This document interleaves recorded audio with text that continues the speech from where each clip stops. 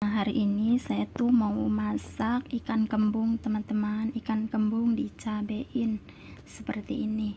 Nah kita langsung ke bahan-bahannya. Di sini saya sudah ada ikan yang sudah saya cuci bersih dan sudah saya buang juga dalemannya. Ini ikannya ada 11 ekor tapi ukuran kecil ya teman-teman. Terus di sini saya bumbuin pakai perasan jeruk limau ataupun jeruk nipis